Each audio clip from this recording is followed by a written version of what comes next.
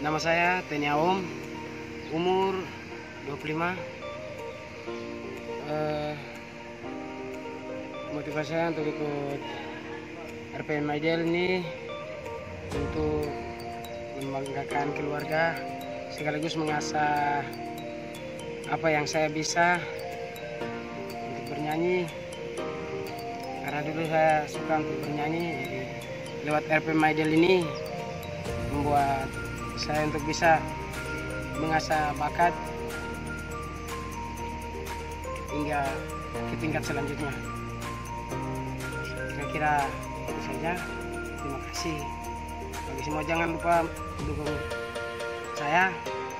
Apabila nanti ada opening SMS-nya, tolong dukung.